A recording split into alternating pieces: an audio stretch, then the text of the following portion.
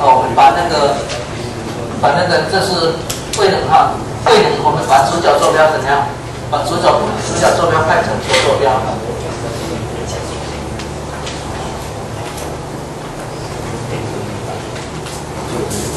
这样对啊，那我们已经有那个三度空间的海村了，对对，好，我们下次就去一些三度空间的问题了哈。然后我们海通也已经知道了嘛，对对哈。好，那在很多情形哈，在很多情形，这个怎么样？位能是跟什么？跟角度无关的。可是我现在条件选择，如果就说如果位能跟角度有关，就它是二函数。啊，就是哦，一般讲就叫球面对称了啊。那叫我们海通两再变成这个。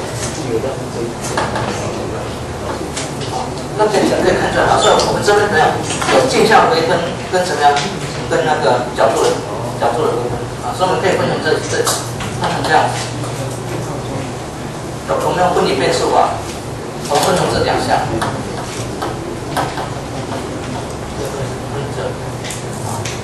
前面是镜像部分，后面是角度部分。那这种用方式哈，这种用我们可以利用什么？我们可以利用分离变数法。那你为什为什么为什么这边可以角度可以写成这样子？知道这为什么我们知道这个答案？我们看哈，这个算符里头哪只有哪个跟角度有关？对，L 平方。对哈，L 平方才 L 平方跟角才跟角度有关。所以角度部分，那我们知道这个函数，就我们先那个求解函数是 L 平方的什么？就按个方选了，讲清楚吗？好。啊，因为因为 y l 就求解函数是 L 平方的 i 个方式。啊，那我们把这个哈，把这倒带到那个修呃呃那个跟时间无关的修正对推选，我们就得到了，是不是？对不对？啊，这是我们这场要解这个问题啊。啊，那我先把哈，我把这个带进来。就是？我们把这个带进来，我们就得到。那我们知道啊，求解函数是它的什么样子？它的 i 个方程。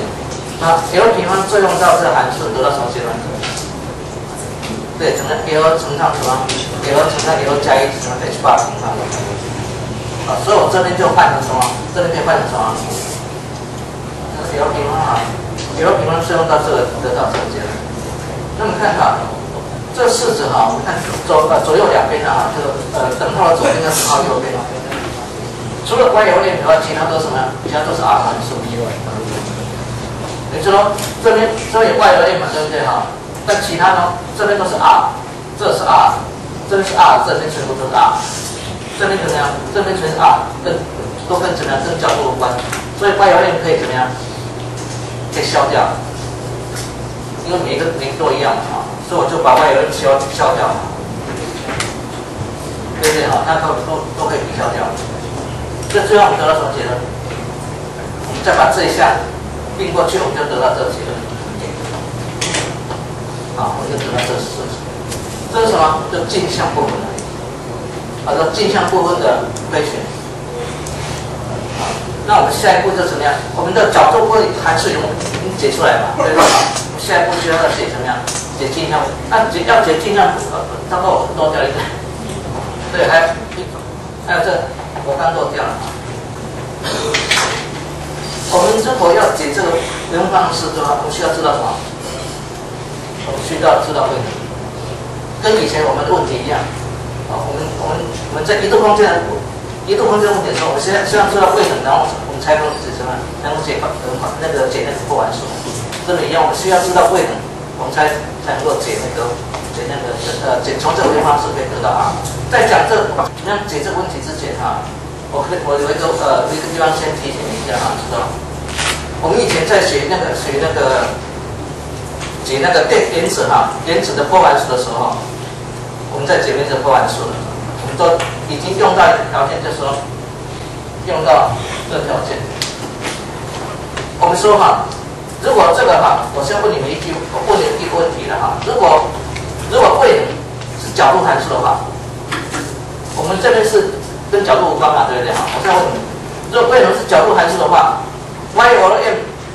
是 eigenfunction，不是的哈，你要记得哈，y o y o m 只有当怎么样？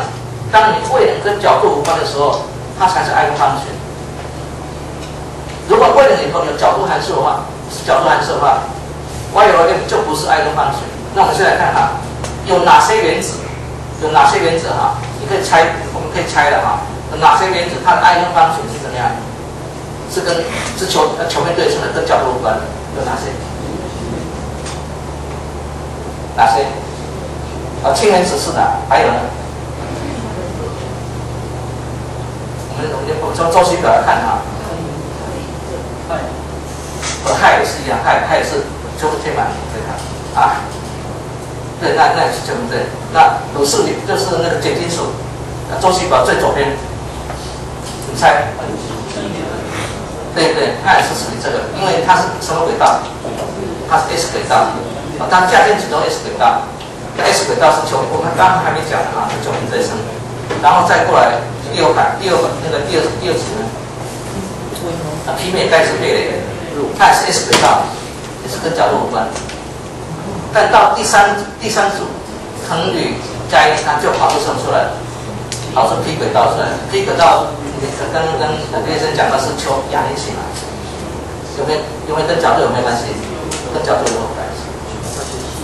哦，所以不是所有的原子哈，不是所有原子它的电子它的位能都是球面对称的。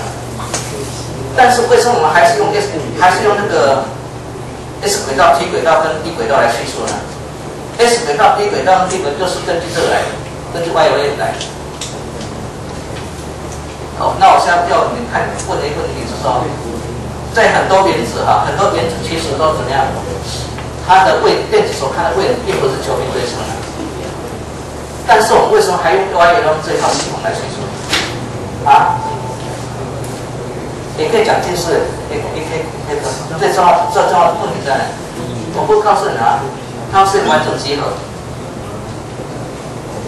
讲清楚吗？它是完整结合，所以其他轨道虽然跟角度有关，它还是怎么样？还可以展开成它什么的线性？好的，好。啊，我们这个关键中心的话，然后下一步就是要解这问题了。在解这问题，那我们要用用要有一些问题啊。不过我们在解之前呢，我们先什么？我们先把它简化，把这个系数哈，我们把这个系搬到里头来，所以我们就可以这样写哈。嗯，接着这时候我们可以改成 D 了哈。因为这边是只有一个 R 的函数，所以我这边改改成怎么样？改成圈微分了哈，这样的地方哈。那我们再把这个系数哈，把这个系数搬过来，你就得到这个式那在解这个问题哈，我们常常用一个数学技巧，我们常常把这个函数哈，把这个函数换成另外函数哈，我们常常这样写哈，这是一种数学技巧。好，我们把把那个定我们定义另一个函数，它是 r 乘上乘上我们，然后我们这个式子可以简化，要简化。啊，这样的话哈，我们的数学，我们的微方式啊就会变成这里。啊，最后我们得到这比较简化的式子。啊，那从哈从原先这个函数呢换成这个函数，我想应该应该多。所以你看，你比较这个式子跟式子，这个式子。比较简化的啊，我们现在就以微分的，没有中间，没有中间一微分来讲。那底下我要讲的哈，底下我要讲的就是说，这这个微分方式解哈，有很多很很重要的特性。那这些特性就影响到原子里头哈，原子头电子的波函数的分布，跟它跟它的特性。好，那下一下一步我们就要解，要知道哈，就是说，在原子里头。啊，原子流量有不同的怎么样，不同的位置啊，对哈，虽然有不同位置，但它有一个很共同的共同的特性。第一个我们要知道是靠近原子的地方，就靠近原子核的啊，就靠近原子的波函数应该怎么样子啊？然后我们取那个 L 不等，然后 L 不等于啊，这是啊，L 不等于。好，那我们来看看，这时候哈，这时候波函数解应该是怎？正向的解应该是怎？什么解哈？我们先看哈，让你先不讲不讲，你你想想那个哈，在氢原子哈，氢原子 VR 是什么形态？啊？V 变什么？啊，对，R 分之负的 J 一平方嘛，对不对？我讲氢原子，这样不呃不能讲氢原子，应该讲不是这样子，没有没有 J 了。那那我已经教告诉你例子对不对哈？所以，好，那一般的哈，一般原子，啊，一般原子是靠近原子的地方是 r 分之一的。那从我从我告诉你这个例子的话，这个式子可以怎么解吗？看不出来吗？再再回想一下这这条线，r 趋近零。我们知道能量是个常能量是个常数了。啊，能量是个常数，它不随不是未知的函数啊。那这是 r 分之一，这是 r 平方分之一，哪个也会变？当 r 趋于零，哪个哪个是比较比较会比较这这一项？所以这两项相对这一项都可以怎么样？都被省略掉，这样会吗？因为这是 r 平方分之一啊。你说 r 如果是一千的，一千分，如果 r 是一千分之一的话。这边变成十的六次方，这个才十三次方而已，这样会吗？啊，所以我们这我们这问问题就可以简化成这样子，是不是？我们就可以得到得到这个简化式。哦，你你这因为这转换以后就没了，你在自己做看看，啊，微分啊，我也自己做。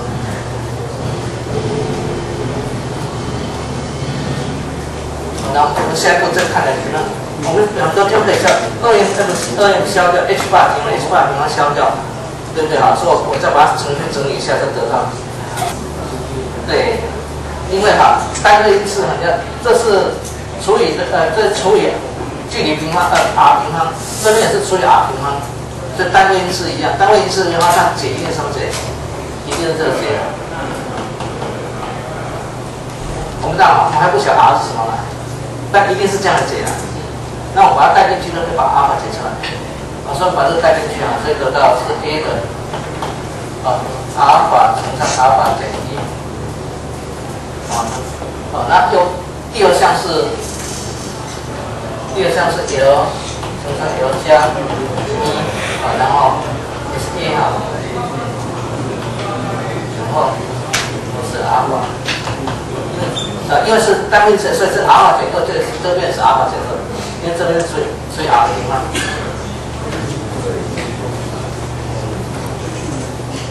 那这告诉我们什么？告诉我们说这系数要怎么样？这系数要等于，所以我们找阿尔法乘上阿尔法减一减掉 L 乘上 L 加有两个解，阿尔法有两个解，啊，一个阿尔法是什么解？啊，一个是 L 加一，啊，有两个解，啊，说明 U 的一维 U L 有两个解。啊，一个是 r 的 r 的一个加一次方，一般解的啊，一般解是两个解的线性格。那如果是 r l 呢？这是 u 嘛，对哈？r l 在这里嘛？r l 跟 u 什么什么关系？对，还有个除以 r，啊，所以 r l 可以等 r r 的一个次方，对不对哈？还要加上怎么样？b 的 r 的多少？那这是告诉我们，我们知道啊，r 距离无限小的话，这项什么？这样画三，所以这这这项能不能有？没有啊，所以把它增加。这项要设成一啊，要，因为这一项画三。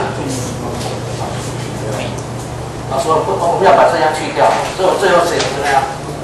啊，所以我就把它擦掉，我把这一项擦掉了啊。OK，有没有问题？它，因为这是发散的，所以不能有这一项，所以把它擦掉。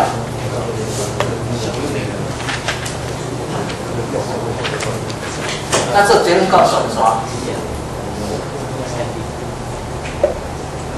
好，这个结论告诉我们，告诉我们什么样？对，这个答案啊，告诉我们什么样重要物重要的物理？就是说，原子的轨道，也就是说，原子有电子的破坏数。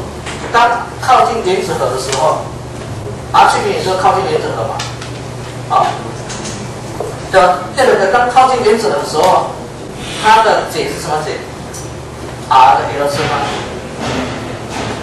好，我特别跟你强调这个哈。好，r 的次方。我们看 L 如果等于一的话，这是什么写？r 一正比什么？对，正比啊。r 二 L 等于二，正比什么？r 平方。r 三正比 r 三次方。那这告诉我什么意思？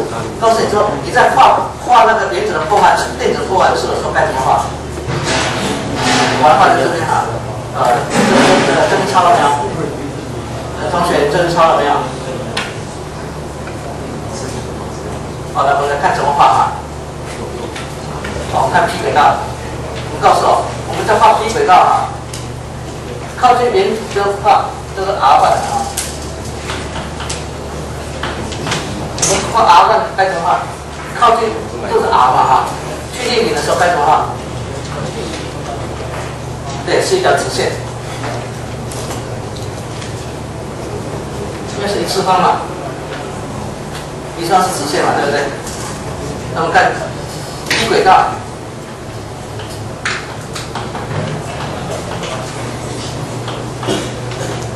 该怎么画？平方，平方是什么？平方是抛物线，讲会了吗？M 轨道三次方更快的，上升更快的。啊，所以以后你们画画原子的轨道的时候就要这样画，讲清楚吗？我们不是画那破画画那轨道过完式吗？画的只有就画这个函数。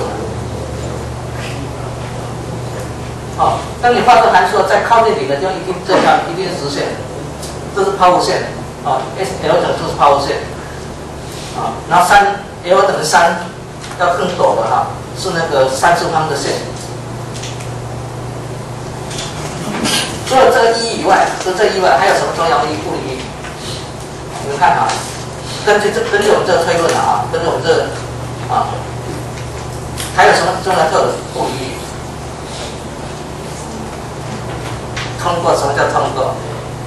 对了，就说哈，我们知道哈，后函数的绝对值平方是什么？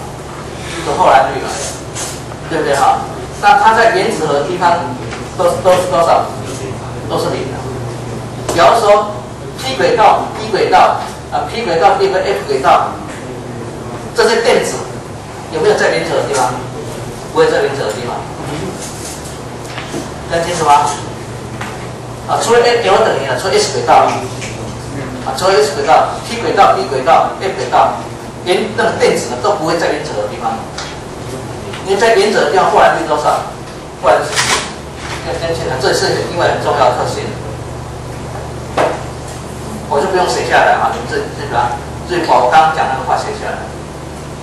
啊，就说，除了 S 轨道以外，P 轨道、B 轨道在原子核的地方，因为它的它的破坏式是零。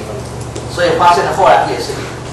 那我再补充一下哈，我刚刚在解这问题的时候哈，有没有用？我有说 L 要不等于零啊。如果 L 等于零哈，我这边写个 L 不等于零。如果 L 等于零怎么办？如果 L 等于零的话，这项是零啊。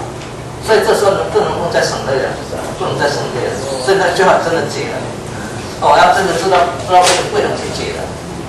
不过，我们以后以后会发现，就是说，以后解出来结果是什么样？S 轨道的话在 R 等于零的地方会不会等于？